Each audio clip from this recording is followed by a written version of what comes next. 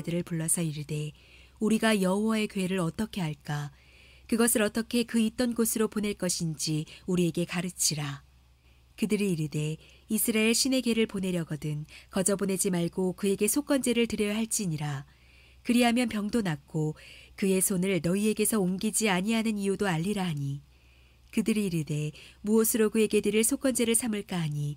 이르되 블레셋 사람의 방백의 수요대로 금독종 다섯과 금지 다섯 마리라야 하리니 너희와 너희 통치자에게 내린 재앙이 같음이니라. 그러므로 너희는 너희의 독한 종기의 형상과 땅을 해롭게 하는 쥐의 형상을 만들어 이스라엘 신께 영광을 돌리라. 그가 혹 그의 손을 너희와 너희의 신들과 너희 땅에서 가볍게 하실까 하노라 애굽인가 바로가 그들의 마음을 안악하게 한 것 같이 어찌하여 너희가 너희의 마음을 안악하게 하겠느냐? 그가 그들 중에서 재앙을 내린 후에 그들이 백성을 가게 함으로 백성이 떠나지 아니하였느냐? 그러므로 새 수를 하나 만들고 멍에를 메어 보지 아니한 전나는 소 두 마리를 끌어다가 소의 수레를 메우고 그 송아지들은 떼어 집으로 돌려보내고 여호와의 개를 가져다가 수레에 싣고 속건제로 드릴 금으로 만든 물건들은 상자에 담아 괴 곁에 두고 그것을 보내어 가게 하고 보고 있다가 만일 개가 그 본 지역길로 올라가서 베세메스로 가면 이 큰 재앙은 그가 우리에게 내린 것이요 그렇지 아니하면 우리를 친 것이 그의 손이 아니요 우연히 당한 것인 줄 알리라니라 아멘. 어, 꿈과 사랑과 행복이 넘치는 와 우리 교회 오신 여러분들을 축복하고 환영합니다. 어, 오늘은 제가 담임 목사님의 배려로 오늘 설교를 하게 되었습니다. 담임 목사님의 어, 담임 목사님에게 주신 하나님의 귀한 소명과 사명 잘 감당할 수 있도록 또 영육 강건할 수 있도록 늘 응원해 주시고 기도해 주시면 감사하겠습니다. 이 시간 하나님 아버지와 주 예수 그리스도로부터 각 가정과 또 일터와 사업장에 오직 주께서만 주실 수 있는 참된 평안이 가득 넘치기를 축복합니다. 어, 많은 분들이 함께 또 같은 마음으로 기도해 주시고 또 응원해 주셔서 우리 단기 선교 네팔 팀이 청작년이 잘 사역 감당하고 어제 건강히 어, 귀국했습니다. 앞으로도 어, 이곳에서 또 네팔 지역을 기도하고 또 하나님께서 주신 그 귀한 사랑과 은혜를 누리고 나눌 수 있도록 함께 응원해 주시고 기도해 주셨으면 좋겠습니다. 그리고 어제서부터 우리 사랑하는 다음 세대 영아부, 유아부, 유치부가 오늘까지 새롭게 하시는 예수님이라는 주제로 성경 학교를 어, 진행하고 있습니다. 우리 다음 세대들이 이제 또 앞으로 어, 우리 다음 세대들이 또 이제 수련회를 이제 할 텐데요. 새롭게 하시는 예수님을 인격적으로 만날 수 있는 시간이 될 수 있도록 함께 기도해 주시고 우리 교육자와 또 우리 선생님들 이렇게 또 사랑으로 섬기고 헌신하고 기도할 때 몸과 마음이 상하지 않고 귀한 사역을 잘 감당할 수 있도록 함께 응원해 주시고 기도해 주셨으면 감사하겠습니다. 네, 음, 어, 중세 유럽이 식민지 개척에 온 힘을 쏟고 있었을 때가 있었습니다. 그래서 유럽의 노예 상인들은 어, 아프리카 원주민들을 생포해서 유럽을 포함한 전 세계에 어, 팔아넘기는 이른바 노예 무역의 혈안이 되어 있었습니다. 이때 아프리카의 대다수의 민족이 유럽의 이 노예상에 의해 전 세계로 팔려 나가게 되었는데 유독 아프리카의 마사이족만이 그렇지 않았다라고 이야기를 합니다. 네, 마사이족, 붉은색이 상징 이 마사이족은 노예로 팔려가지 않았습니다. 수많은 흑인들이 아프리카 원주민들이 생포되어서 노예로 팔려가게 되었는데 왜 유독 이 마사이족, 이 민족만, 이 부족만 왜 팔려가지 않았을까? 그 이유는 이들의 용감 무쌍한 민족성 때문이었습니다. 이 마사이족의 남자는 15살이 되면 어, 성인식을 치루어야 합니다. 15살. 이들의 성인식은 무엇이냐면 들판에 나가서 맨손으로 사자를 죽여야 하는 것입니다. 네. 그래야지만 성인으로 인정을 받게 되는 거죠. 사자를 어떻게 죽이냐면요. 어, 사자가 사람을 잡아먹으려고 어떻게 하겠습니까? 어흥 하고 입을 벌리겠죠. 그때 양쪽으로 날카로운 단도를 가지고 그 사자의 입속에 싹 집어넣습니다. 그래서 사자가 입을 다물지 못하고 고통으로 신음하다가 죽게 됩니다. 이 일에 성공을 하면 이제는 마사이족의 전사이자 또 어른으로 인정을 받기 시작합니다. 실패하면 어떻게 되겠습니까? 예, 사자의 밥이 됩니다. 마사이 남자들은 이 마사이족의 남자들은 누구나 이와 같은 목숨을 담보로 한 성인식을 치루어야 하기 때문에 어렸을 때부터 이 사자에 대한 두려움을 불식시키기 위해서 사자를 마사이족의 밥이다라고 교육을 받습니다. 다른 여타의 민족들에게 있어서 사자는 어떻습니까? 만나기만 하면 주랭랑을 치어야 하는 그런 무시무시한 맹수이지만 이 마사이족에게는 맹수가 아니었습니다. 나의 밥이었던 것입니다. 이것이 바로 마사이족이 노예로 팔려가지 않을 수 있었던 용기의 비밀입니다. 똑같은 사자이지만 다른 사람들처럼 두려움의 대상으로 보는 것이 아니라 충분히 싸워 이길 수 있는 대상으로 바라보았다라는 것입니다. 다른 민족과는 다른 방식으로 어렸을 때부터 이런 교육을 받다 보니 사자에게 이기는 것은 물론이요 노예로 팔려가지 않았던 것입니다. 사랑하는 성도 여러분, 오늘날을 살아가는 우리도 마찬가지입니다.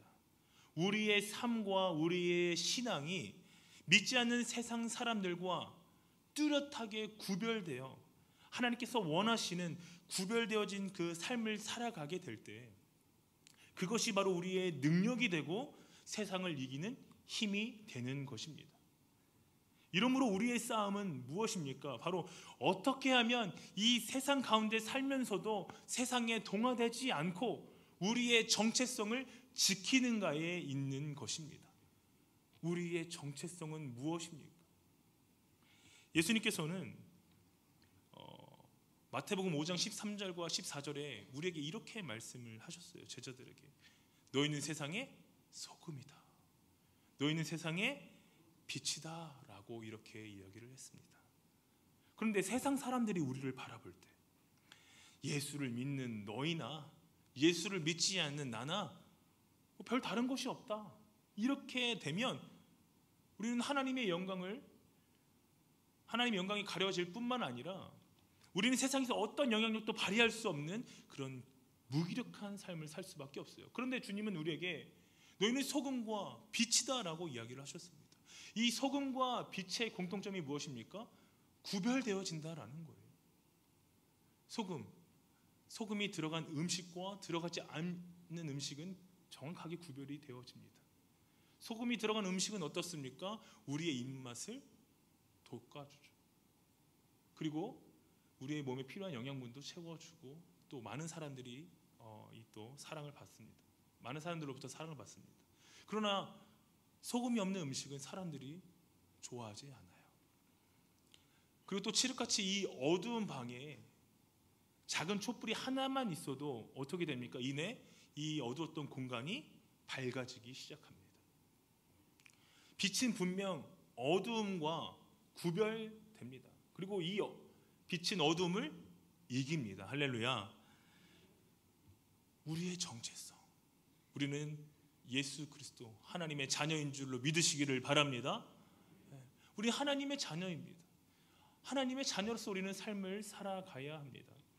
구약 성경 레기를 보면 수많은 제사 의식이 기록이 되어 있어요. 그래서 수많은 양과 소들이 죽게 됩니다. 또 제물로 태워집니다. 이 레기 성경의 주제는 무엇입니까? 죄인이 피의 제사를 통해 거룩해지는 것, 바로 죄로부터 구별되는 것입니다. 신약 성경이든 구약 성경이든 하나님께서 우리 백성들에게 우리들에게 요구하는 것은 무엇입니까? 바로 세상과 구별되는 그 믿음을 가지고 그 흔들리지 않는 믿음을 가지고 구별되는 삶을 살아가라 라는 것입니다. 제가 한 어떤 고등학생이 어, 랩을 하는 것을 보게 되었습니다. 뭐라고 랩을 하냐면 이렇게 랩을 합니다. 나는야 예수쟁이. 세상 사람들이 내게 손가락질 해도 상관없어. 나는 신경 안 써. 이것이 바로 나의 정체성. 하면서 나는 예수쟁이라고 노래를 찬양 이렇게 노래를 랩하는 걸 보게 되었습니다. 맞습니다. 우리의 정체성, 우리는 바로 예수쟁이. 세상 사람들이 내게 손가락질하고 내게 뭐라고 모욕해도 우리는 신경 쓰지 말아야 합니다. 우리는 복음을 전해야 합니다. 할렐루야. 그런데 이 사사기 말씀과 이 사무엘상 이 초반의 말씀에 있는 가운데 느끼는 것 중에 하나가 무엇이냐면 하나님의 백성인 이스라엘 민족이 이방 민족과 별반 다를 바 없는 삶을 살아가고 있다라는 거예요. 다시 말해 이스라엘 민족이 이방 민족과 구별되지 못한 삶을 살아가고 있다라는 것입니다. 블레셋의 제사장이나 이스라엘의 제사장이나 하나님 앞에서 별 다를 바 없는 도덕적인 삶을 살아갑니다. 뿐만 아니라 둘 다 하나님 그 하나님의 말씀과는 거리가 먼 삶을 살아가고 있습니다. 오늘 특별히 본문 말씀에 보면 블레셋 제사장들이 등장을 하고 있는데요.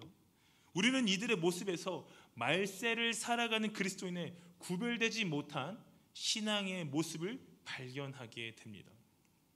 바라는 것은 이 사무엘상 초반에 기록된 이 블레셋 제사장들의 모습 속에서 나의 모습이 발견된다면 부끄러워하지 마시고 우리가 세상 가운데 거룩하게 구별된 삶을 살지 못하고 있구나 하는 것을 깨닫고 하나님께서 기뻐하시는 거룩한 삶을 회복할 수 있기를 간절히 바랍니다. 블레셋 제사장들의 모습 속에서 발견할 수 있는 잘못된 신앙의 모습은 무엇입니까? 바로 자기 중심적인 믿음입니다. 세상과 더불어 거룩하게 구별되지 못한 오늘날 세속화된 그리스도인의 모습 속에서 보편적으로 발견되는 특징 중 대표적인 것이 바로 자기 중심적인 신앙생활이에요. 하나님을 믿기는 믿습니다. 교회도 다니고요. 수많은 곳에서 봉사하고 헌신하고 섬기기도 합니다. 하지만 그 마음의 중심에는 하나님이 아니라 자기 자신이 있다라는 거죠. 하나님을 따르는 것보다 내가 원하는 삶이 더 중요합니다. 내 생각이 아니라 하나님의 내 생각이 하나님의 생각보다 우선순위에 있을 때가 더 많다라는 것입니다. 이런 사람이 바로 자기 중심적인 신앙생활을 하는 사람입니다. 이런 사람을 통해서는 하나님의 영광이 이 땅 가운데 드러날 수가 없습니다. 이러한 사람을 통해서는 하나님의 나라가 확장되어질 수가 없습니다. 부르심의 소망을 이루어 드릴 수가 없습니다. 오늘 본문 말씀은 우리가 경계해야 할 세상과 구별되지 못한 그 잘못된 믿음에 대해서 경고하고 있습니다. 우리가 깨어 경계해야 할 부분은 무엇입니까? 하나님 중심이 아닌 바로 나 중심적인 신앙생활인 것입니다. 어, 우리가 어떤 일을 결정할 때 또 판단하고 그것을 행동할 때 내가 좋은 대로 결정하는 것이 아니라 하나님께서 살아계신 하나님께서 좋아하시는 대로 결정하는 것이 바로 하나님 중심적인 신앙 생활입니다. 우리 교회에서 계속해서 하고 있는 캠페인이 있습니다. 무엇인지 아십니까? 다 알고 계시죠? 네, 예수님이라면 어떻게 하실까? 예, 내 생각과 내 방법이 아닌 하나님께 계속해서 여쭙는 거예요. 내가 나도 교회 오래 다녀서 다 알아. 하나님 이렇게 하실 거야. 내 생각이 아니라 똑같은 상황이지만 늘 하나님께 바짝 엎드려야 하는 것입니다. 하나님 지금 내가 어떻게 하기를 원하십니까? 아버지께서 나를 통해 하시고자 하는 것은 무엇입니까? 늘 여쭈어 봐야 합니다. 내 사랑하는 남편을 위해서, 내 사랑하는 아내를 위해, 또 부모님과 내 사랑하는 부모님과 자녀를 위해서 우리가 그들의 구원을 위해서 기도하고 있지 않습니까? 그때 아, 예수님 믿으니까 이렇게 해야지. 이것보다도 내 생각대로 움직이는 것이 아니라 주님, 내 사랑하는 남편, 또 아내, 우리 부모님과 자녀 더 이상 방황하지 않고 하나님께로 돌아오기를 원합니다. 그런데 내가 어떻게 해야 될지 모르겠어요. 어떻게 해야 합니까? 어떻게 섬겨야 되죠?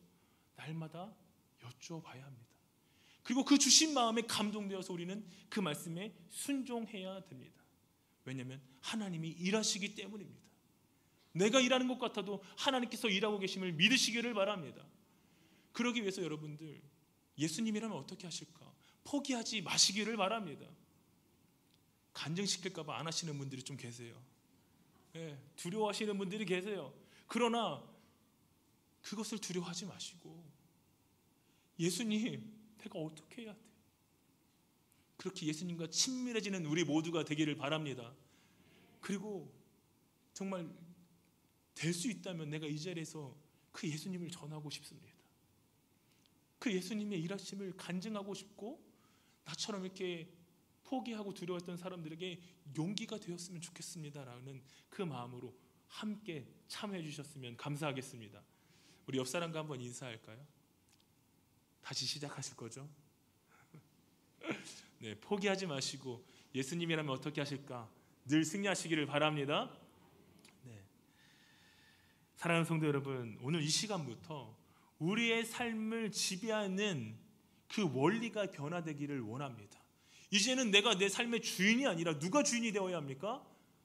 내게 생명 주시고 영생을 주신 예수님이 주인이 되어 주셔야 될 줄로 믿습니다. 그러기 위해서는 우린 날마다 엎드려야 돼요. 매 순간순간마다 엎드려야 합니다. 교회에 와서만이 아니라 우리의 주어진 삶과 가정과 일터와 나아가는 그곳에서 늘 주님께 엎드려야 합니다. 날마다 주님께 무릎 꿇고 엎드리며 주님의 주권을 인정하는 저와 여러분 우리 모두가 되기를 바랍니다. 지금까지는 내 본성이 말하는 대로 내 몸이 원하는 대로 했다면 그렇게 살아왔다면 이제부터는 하나님이 원하시는 것이 무엇인지 하나님의 뜻을 발견해야 돼요.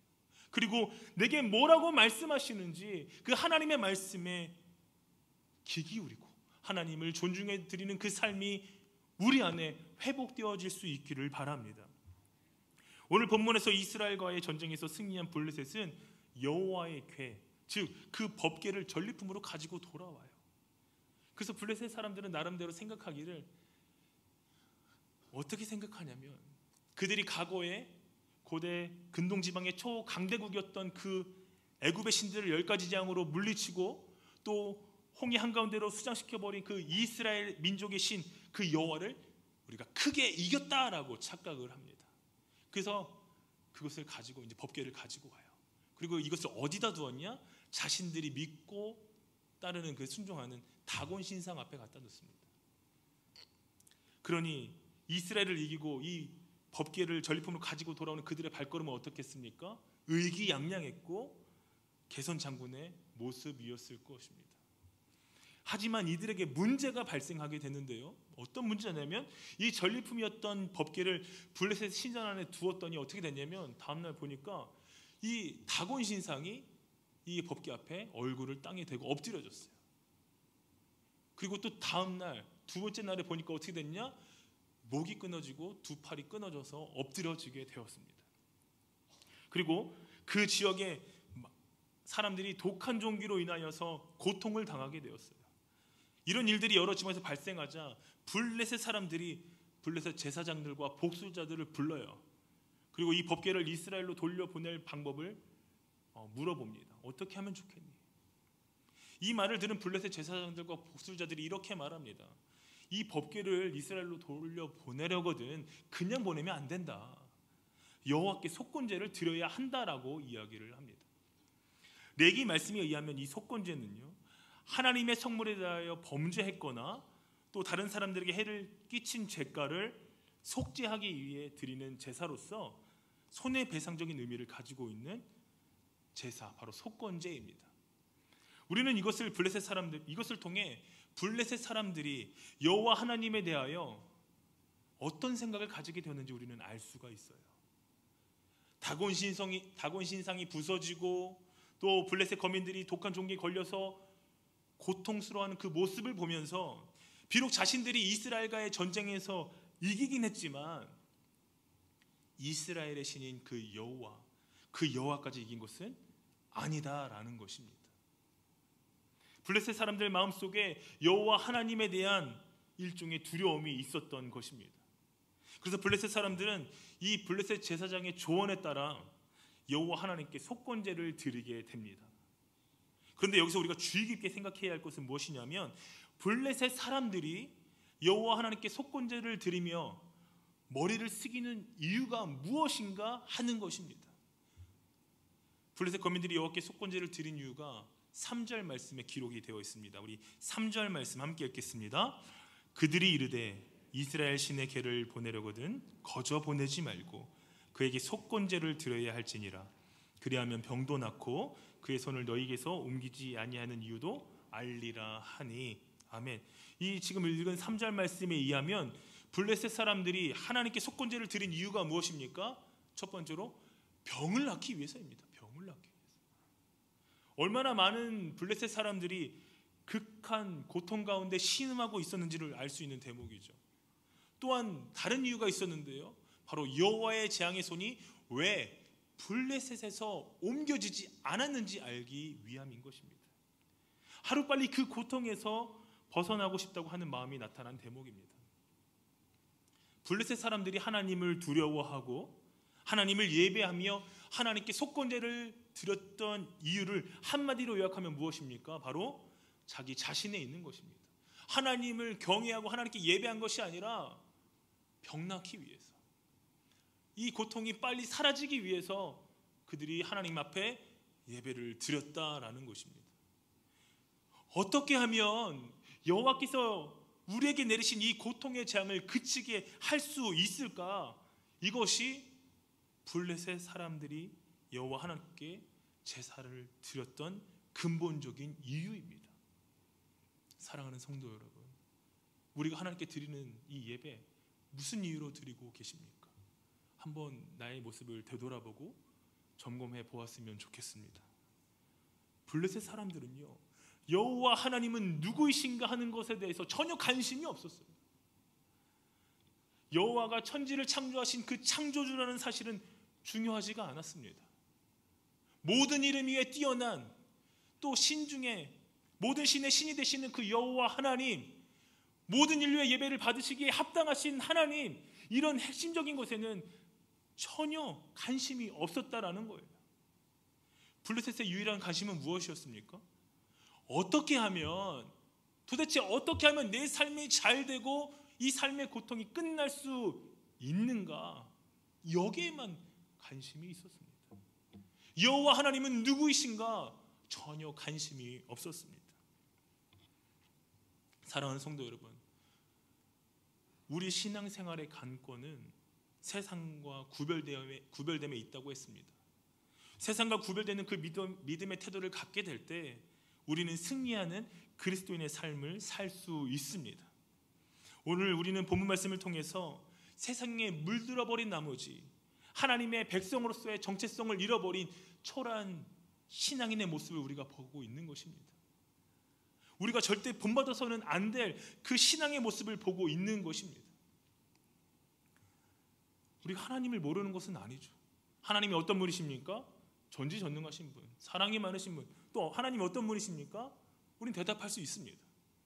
하나님을 알아요. 하나님을 두려워하는 마음도 우리에게 있습니다. 하나님을 예배해요. 봉사도 합니다.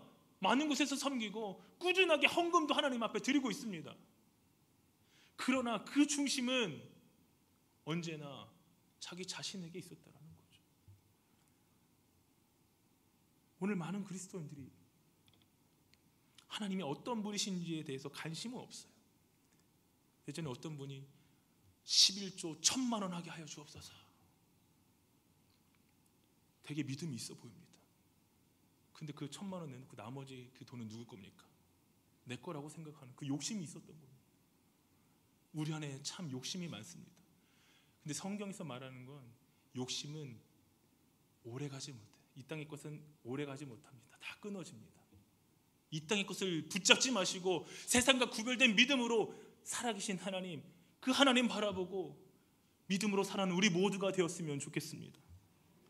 오늘 내가 하나님을 어떻게 섬기며 또 그 하나님을 어떻게 따르며 또 어떻게 내가 하나님을 예배해야 할지 또 어떻게 내가 순종해야 할지 우리가 관심을 좀 가졌으면 좋겠어요.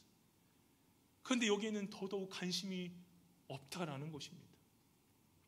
그냥 형식적인 그런 예배를 드리고 있었다라는 겁니다. 그저 내 삶이 하나님의 하나님으로 인해 잘 되면 그것으로 만족해야 하는 것입니다. 하나님의 도우심으로 내가 원하는 것이 다 이루어지고 내 가정이 평안하면 그것으로 만족해야 하는 신앙생활을 하는 사람들이 너무나도 많다라는 겁니다.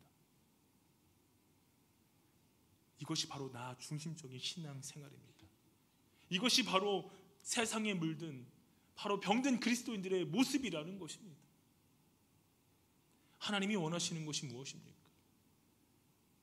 모든 사람이 구원을 받으며 진리를 아는 데 이르기를 원하신다라고 성경은 말하고 있습니다. 하나님의 음성에 귀 기울이는 하나님 뜻을 발견하는 저와 여러분 우리 모두가 되기를 바랍니다. 그래서 하나님께서 우리에게 주신 이 귀한 시간에 복음을 선명한 복음을 전하는 우리들의 삶이 되었으면 좋겠습니다. 어떤 의미에서 신앙생활이란 하나님께서 기뻐하는 것이 무엇인지 깨닫고 깨달은 대로 순종하는 것이라고 해도 가원이 아닙니다. 그러므로 나를 사랑하사 나를 위하여 자기 몸을 십자가에서 내어 주신 예수 그리스도께 내 삶의 주도권을 내어 드리고 날마다 예수님이라면 어떻게 하실까 여쭙고 각자에게 주신 그 말씀대로 순종한 삶을 살아가는 저와 여러분 우리 모두가 되기를 바랍니다. 지금도 내 삶의 주인이 나라면 지금 있는 그 자리에서 엎드리셔야 합니다. 하나님 내 삶의 주인이 되어 주옵소서. 그렇게 고백해야 합니다. 왜냐하면 우리는 생명의 빛을 진 자, 빛을 진 자들이거든요. 또한 영혼의 빛을 진 자들입니다. 우리는 예수님 때문에 새 생명을 얻었고 또한 예수님 때문에 영생을 얻었습니다. 할렐루야. 그러므로 우리의 삶의 패러다임이 다 바뀌어야 합니다. 주님 때문에 내가 살게 되었다면 주를 위하여 살아가는 그 신앙인의 참된 정체성을 회복해야 하는 것입니다. 우리 함께 회복합시다. 그게 말씀입니다. 그게 예배입니다. 할렐루야. 더욱더 기도하는 자리에 우리가 나아가야 합니다. 아직도 아직도 코로나라고 코로나라고 핑계 대면서 하나님 앞에 나아가지 못하고 있는 내 모습을 우리는 회개해야 합니다. 정말 질병 때문에 두려서 못 나온다 하더라도 우리는 각 가정에서 예배하며 기도해야 합니다. 그런데도 이것을 핑계 삼아 기도하지 아니하고 하나님과 더욱더 멀어져가는 내 모습을 우리는 반성해야 합니다. 저도 휴가 때 집에서 영상 예배를 드리는데 몸이 슬슬 막 눕고 싶고 집중도 안 되고 애들 뛰어다니니까 애들 핑계 삼아서 아 그냥 누울까? 아니면 그냥 막 바깥에 한번 나와서 물에도 한 잔 마시고? 우리가 연약한 죄인이기 때문에 그렇습니다.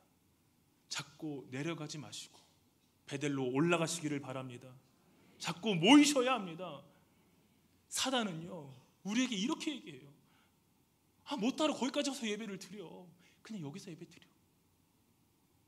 아니 못하러 아이들까지 데려가서 예배를 드려. 애들 시험 기간이잖아. 고3 학생도 공부해야지. 왜 교회를 와서 그 시간 아깝게 그래. 대학 좋은 대학 보낸 다음에 그때 가게 해. 이것이 사단의 방법이에요. 하나님은 누구를 원하십니까? 우리 한 사람 한 사람을 원하세요. 나의 자녀도 원하시고요. 나의 부모님도 원하세요. 나의 자녀가 잘 먹고 잘 살고 잘 되기를 원하십니까? 그러면 예배의 성공자가 될 수 있도록 함께 예배하셔야 합니다. 그러기 위해서 내가 먼저 예배자로서 성공해야 합니다. 목에 칼이 들어온다 할지라도 예배에 목숨 거시기를 바랍니다. 자꾸 사단은요 우리에게 빈껍데기 신앙의 모습을 갖게 해요. 그래 교회는 가 헌금도 하지 말고 그냥 가서 앉아 있다가만 와. 봉사도 하지 마 못하러 봉사만 해 그냥 말씀만 듣고 와. 여러분 하나님의 말씀에 우리가 들려지면요 예수님을 만나게 되면 기쁨으로 섬기기를 어, 그런 마음을 갖게 됩니다. 봉사도 참 중요하지만 먼저 예수님 만나는 예배가 회복되시기를 바랍니다. 그리고 하나님께서 원하시는 그곳에 나가서 나가셔서 주님 주신 달란트를 가지고 감사함으로 자원하는 마음으로 섬기시기를 바랍니다. 이 세상에는요 크게 두 가지 종류의 사람이 있다고 합니다. 나를 위하여 사는 사람과 예수 그리스도를 위하여 사는 사람. 세상 사람들은 아, 사람들은요 종교적 열심과 헌신 그 선행으로 죄를 용서받을 수 있다라고 착각을 하며 살아갑니다. 그러나 우리는 예수님 외에 다른 구원받을 일을 구원받을 만한 다른 이름을 받은 적이 없어요. 오직 예수님밖에 없습니다. 할렐루야. 예수님이 아닌 다른 어떤 것으로 죄를 용서받고 그리고 하나님의 진노와 심판을 막을 수가 없어요. 오직 예수님을 믿음으로 죄에 대한 하나님의 진노와 심판에서 우리는 벗어날 수 있습니다. 왜냐하면 죄가 없으시고 하나님이신 예수님이 나를 나의 죄를 대신해 십자가의 죽으심으로 하나님의 진노와 형벌을 다 받으셨기 때문입니다. 사랑하는 성도 여러분, 예수님의 십자가 복음만이 하나님의 정하신 구원의 길이요 방법임을 잊지 않으시기를 바랍니다. 기억하시고 날마다 감사하는 삶을 살아가시기를 바랍니다. 우리가 계속해서 감사 지금 또 운동을 하고 있습니다. 하루에 다섯 가지씩 기도 제목을 적고 3분 동안 기도하는 1호상 감사입니다. 감사를 적다 보니까요. 너무나 감사할 게 많습니다. 그냥 지나갈 것도 있었는데 생각해 보니까 그것이 은혜였습니다. 날마다 감사의 제목을 나누시고 가정과 또 우리 가정교회에서 그런 나눔을 하시기를 바랍니다. 나 자신만을 위해 살았던 삶을 회개하고 이제부터는 성령의 도우심으로 그리스도만을 위해 살겠다라고 다시 한번 결단하는 저와 여러분 우리 모두가 되었으면 합니다.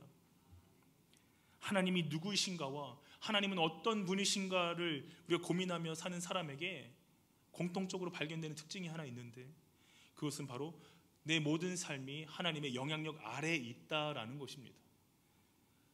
창조주 하나님을 묵상하며 구원의 주님을 기억하며 사는 사람들은 이 지존하신 하나님의 영향력 안에 자신의 의지를 다 내려놓는 사람들이에요. 또 그로 말미암아 내 모든 삶이 내 영혼의 목자 되신 그 예수님과 동행하는 축복을 누릴 수가 있습니다. 하나님의 영향력 아래에 있는 사람은 연약한지라 죄를 지을 수는 있으나 시편 1편에 복 있는 사람과 같이 죄인의 길에 서는 것을 꺼려하고 싫어합니다. 실수로 죄를 짓게 되면 그로 인하여 아파하고 고통스러워할 줄도 압니다. 그렇습니다. 하나님이 누구이신가라는 이 질문 앞에 살아가는 사람은 이처럼 하나님의 영향력 아래 살아갑니다. 반면에 내가 내 삶의 중심에 서 있는 사람은 어떻습니까? 하나님의 영향력 아래 내가 들어간 것이 아니라 내 영향력 아래 하나님을 두고 살아갑니다. 내가 필요할 때 하나님을 찾아요. 호출하죠. 하나님, 하나님, 나를 도와줘야 합니다. 라고 이렇게 졸라대요. 그리고 심지어는 협박돼요. 도와주실 거 말 거예요. 아, 지금 이 시간인데 왜 안 도와주시는 거예요? 이런 사람들은 쉽게 죄를 지어요. 죄를 지어도 회개하면 되지라는 그런 마음으로 가책도 없습니다.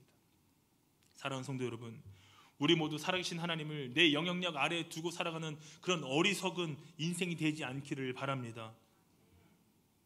사실 그런 삶은 있을 수가 없습니다.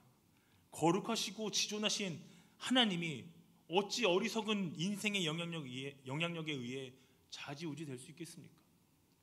하지만 이와 같은 마음의 자세로 살아가는 사람은 이 세속화된 신앙생활 가운데 살아가는 사람으로서 절대로 빛과 소금으로 또 하나님의 영광을 위해 부르심의 소망을 따라 살아갈 수가 없습니다. 자기 중심적인 믿음을 가지고 살아가는 사람에게서 절대로 찾아볼 수 없는 것이 있습니다. 그리고 하나님 중심적인 그 믿음을 소유한 사람에게서만 발견할 수 있는 것이 있는데요. 그것은 바로 신앙 고백입니다. 신앙 고백. 신앙 고백은 우리의 삶을 복된 길로 이끌어가는 영적 재산입니다. 환경과 조건 그리고 개인적인 기호와 편리성 시시각각 변하는 그 변화에도 불구하고 이것들에게 영향을 받지 않도록 우리의 중심을 붙잡아 주는 게 바로 신앙 고백이에요. 또한 죽음의 공포 앞에서 흔들리지 않도록 우리의 중심을 붙잡아 주는 것이 신앙 고백입니다. 사랑하는 성도 여러분, 오늘 우리가 삶을 살아갈 때 하나님이 내게 있어서 어떤 분이심을 분명히 고백할 수 있는 그 신앙 고백을 우리는 가지고 살아가야 합니다. 그냥 주절주절한 암송하는 신앙 고백이 아니라 지금 이 순간 목에 칼에 목에 칼을 갖다 댄다 할지라도 담대하게 선포할 수 있는 하나님에 대한 나의 신앙 고백 말입니다. 이와 같은 삶을 살아가는 사람들은 세상의 물결이 아무리 거칠게 나를 엄습해 온다 할지라도 변하지 않는 순금처럼 아니 다이아몬드처럼 하나님 앞에 믿음을 지킬 수가 있는 것입니다. 또 그 믿음을 가지고 하나님을 기쁘시게 하는 삶을 살아갈 수가 있습니다. 세상에 동화되지 않고 온전히 하나님께서 기뻐하시는 믿음으로 살아가는 저와 여러분 우리 모두가 되기를 바랍니다. 성경에서 그 대표적인 예를 찾아보면 바로 여호수아와 다니엘의 세 친구입니다. 여호수아는 여호와 외에도 자기들에게 여러 가지 유익을 줄 수 있다고 믿는 그 이스라엘 백성들에게 담대히 이렇게 선포합니다.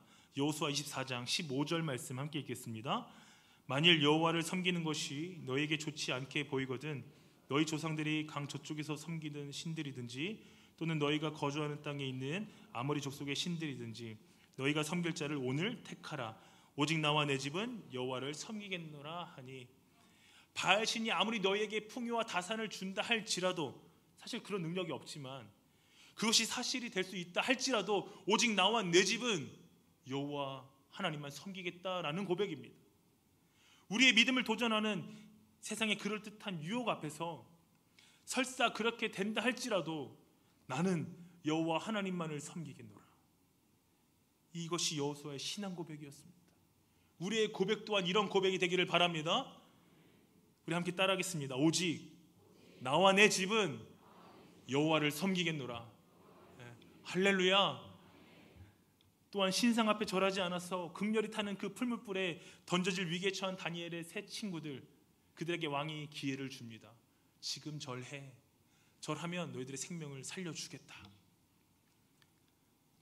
저 같았으면 아마 절했을지도 몰라요. 그리고 나서 숨어가지고 다 복음을 더 전해야 되겠다. 이건 내 생각대로 살 때가 참 많은 것 같습니다. 이것을 보면서 참 많이 회개가 되었습니다. 근데 다니엘의 다니엘의 새 친구들의 이 고백을 들어보니 참 제가 너무나도 부끄러웠습니다. 함께 한번 보실까요? 다니엘 3장 17절에서 18절. 왕이여 우리가 섬기는 하나님이 계시다면 우리를 맹렬히 타는 그 풀무불 가운데서 능히 건져내시겠고 왕의 손에서도 건져내리리다. 그렇게 하지 아니하실지라도 왕이여 우리가 왕의 신들을 섬기지도 아니하고 왕이 세우신 금 신상에게 절하지 않을 줄을 아옵소서. 오늘 우리가 하나님의 백성으로서 이방 신을 섬기는 그 신앙의 잔재가 있다면 이것은 참으로 자존심 상하는 일이고 하나님께 송구스러운 일입니다. 오늘 우리에게 세상과 구별되는 그 믿음으로 살아가는 은혜가 있기를 바랍니다. 나는야 예수쟁이. 세상 사람들이 내게 손가락질해도 상관없어. 신경 안 써. 이것이 나의 정체성. 예수 믿는 예수쟁이. 할렐루야.